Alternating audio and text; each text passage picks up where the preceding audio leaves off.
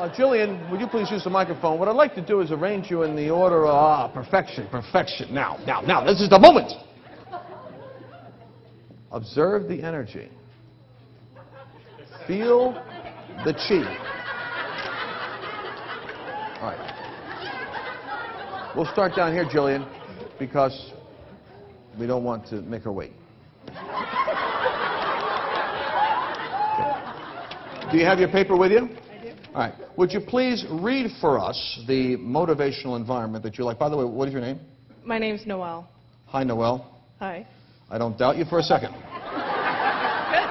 Uh, now, is there any particular like employ- work that you do, or anything you can tell us about yourself?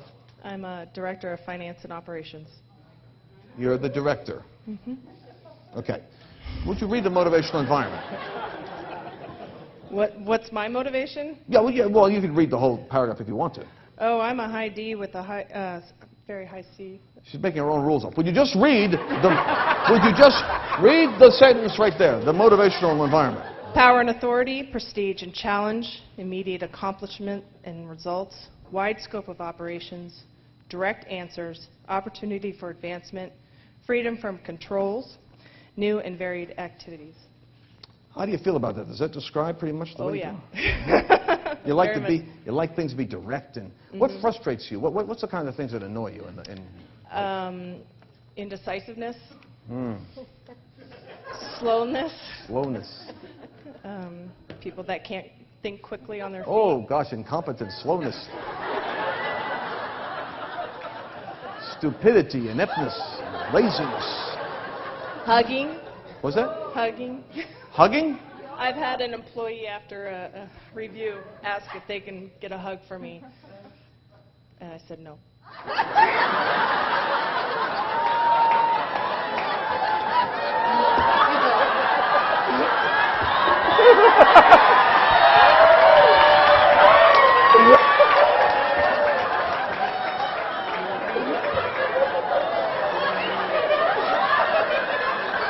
Boy, you you said that to the wrong crowd here.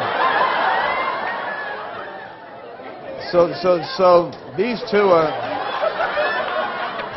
Can you can you see the high I juice flowing on the platform?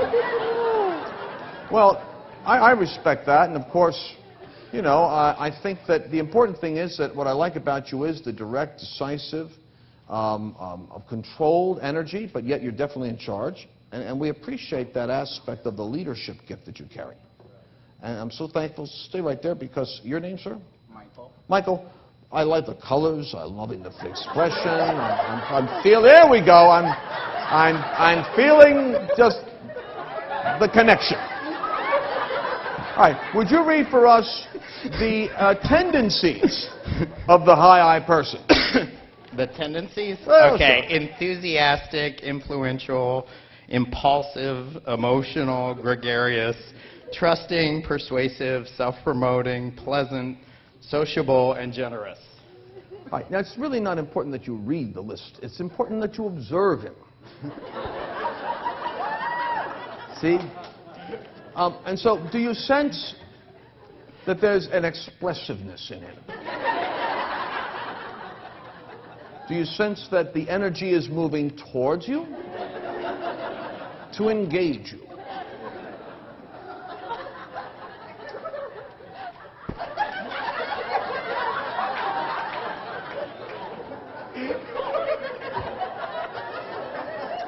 Clearly, the fun factor is in the high I personality. Now, generally speaking, these people are, generally speaking,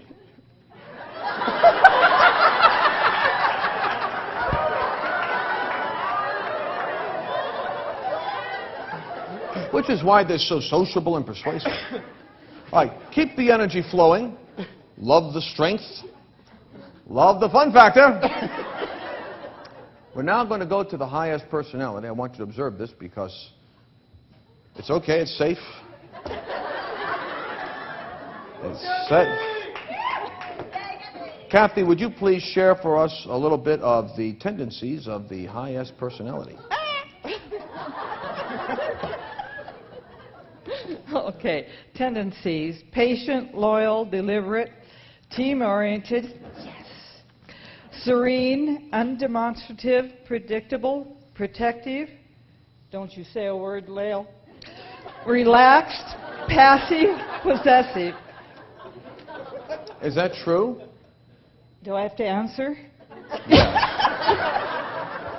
This, whatever you say will be uh, kept just between us. I mean, are you basically like, are you are you protective and uh, patient? Now, who's Leo? Leo. Leo, He's my friend. adopted son. Adopted son.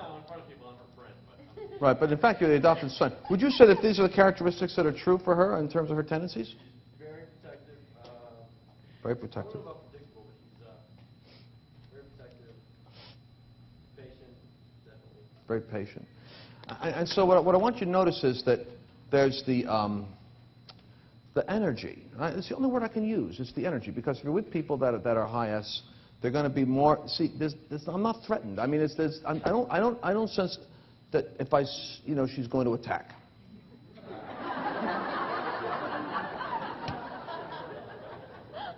I don't. I know. You know what I'm talking about? There's an energy that is that is kind of like there's a gentle connection, nurture flow. And although I can see that perhaps there's you know there's some other you know potential uh, you know C you know maybe maybe a little suppressed I, I, I get the S. And and so what what is important for me is the strength. When you're with that dominant personality, have you ever been with someone who's just got the energy that makes you just want to obey? or just want to have fun? Or just feeling as though this is a, this is a, you know this is kind of like a, a safe, non-threatening person, and then the the C energy, which you can go ahead and read that. Your name, by the way. Marlene. Marlene. Marlene. Uh, Clearly, clearly defined performance, expectations, time to think, a reserved environment, um, opportunities to demonstrate expertise. I want you to notice the laborious accuracy with which every word, which I, I promise you, the moment she knew that she was going to have to read something, she's already read this three or four times to make sure, just in case, to make sure she's ready. But it's the, it's the commitment to perfection. Yeah. More? Please. Control over factors uh, affecting their performance, precise information and logic, freedom from pressures, recognition to special skills and accomplishments. hmm Now, now how, how, do you, how do you feel about your accomplishments?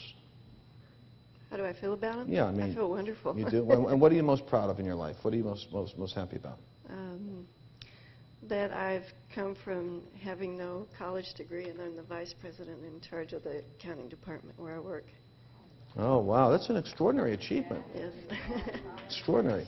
So, your attention to detail, accuracy, and ruthless commitment to the facts pays off. yes. You got the right job. Yes.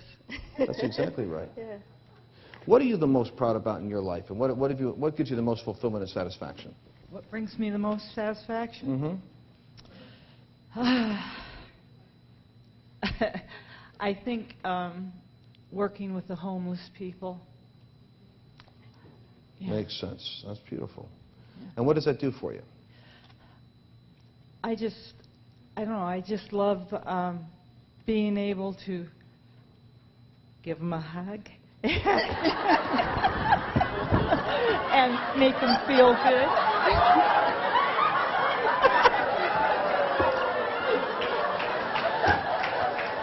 Well, and, what I'm getting, and, and what I'm get, what I'm getting is, you see the certainty energy over here, the need for things to be done correctly. You sense the connection. I mean, right down to hugging, uh, this, the, the connection capacity. What are you most enjoying in your life these days? Uh, right now, as an attorney, I like doing deals and putting people together and connecting people and doing business. And uh, I like being involved in the ministry and having friends and meeting a lot of people. And, and I could just go on and on, but I'll just shut up. and wearing bright clothes. Now, now, have you ever been accused of not getting the, the message in in time on an answering machine? I, my record's like four beats. Oh! the four beat person. Uh, you know, you normally don't think of a high I in the legal profession, though. I mean, this is like, this no, is I'm like- a very different animal in terms my partners Oh, don't know I'll what bet- to do I'll- with me at all. I'll bet you're a, oh, I bet you're just a, you broke the mold on that. The- yeah. well, you know, it reminds me of like Jim Carrey. And, and, Yeah. You know, well, I have people that work below me that like pay attention to detail and keep me focused on whatever I'm trying to focus on, and hopefully, and I got malpractice insurance. oh, well, that's important.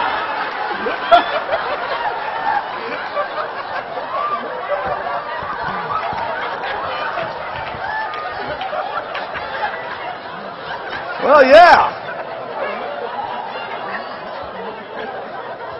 It's like that, the, the, like Leslie Nielsen, and you know, oh, Lord, I'm missing evidence from the Brooklyn case. Yeah.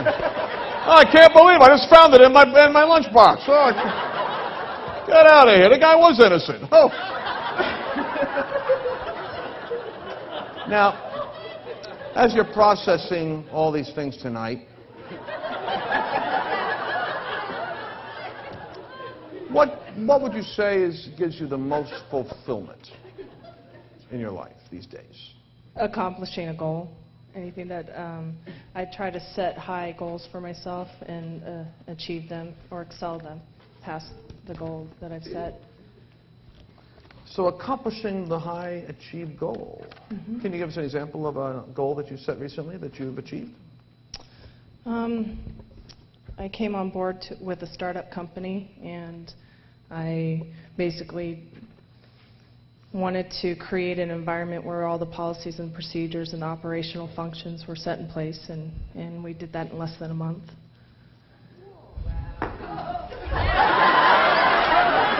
On visited in less than a month. Policies and procedures. I want to suggest to you that if I had a situation that I needed to turn around, mm-hmm. you'd be the person I would look for. I would trust you and your judgment under pressure more than anyone in the room. Because I believe that one of the strengths that you carry is a, a commitment to being able to lead organizations and people to their highest and fullest potential. Thank you.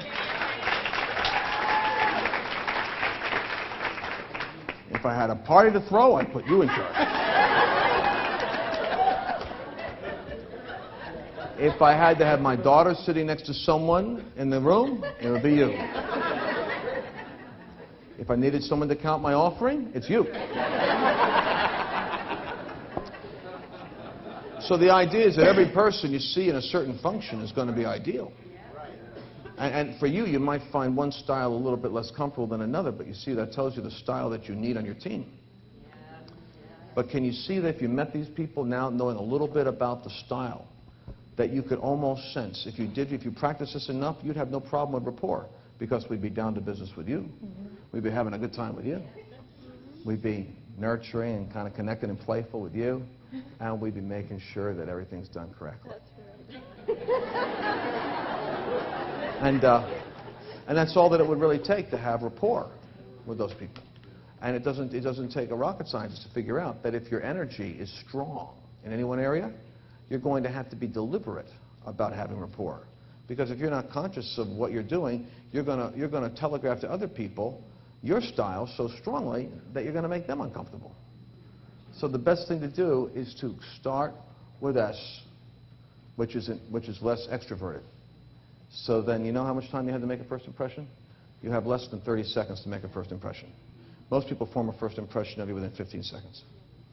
The problem with that is, and it's always the same, it takes 25 additional impressions to undo the wrong first impression. Because the brain is like it just it creates a photograph. And it takes 25 other impressions to correct the wrong first impression. So you want to exercise extraordinary EQ skills. Can we thank God for these people right now? Does that